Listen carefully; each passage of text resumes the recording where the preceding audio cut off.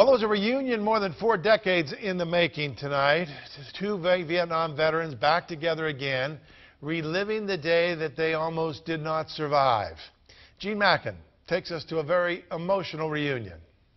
It is a lifelong bond formed 44 years ago when these two Vietnam veterans nearly died together. I thought for sure we were dead. None of us should have lived through that day. And we all did.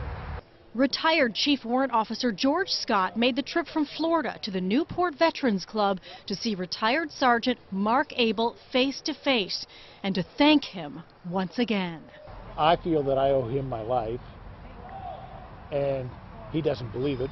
In March of 1970, their chopper was shot down in Vietnam. All three men on board were wounded. George was the pilot that day and doesn't remember being shot. Mark remembers defending the position until they were all rescued. George's chest was laid wide open. So I was the only one that could shoot. So I gathered I had my M60 still in my arms even after being thrown from the helicopter. Sergeant Mark Abel earned the Silver Star, and all these years later, his pilot has returned to thank him. It, it's sort of a, a healing process, you know. It's a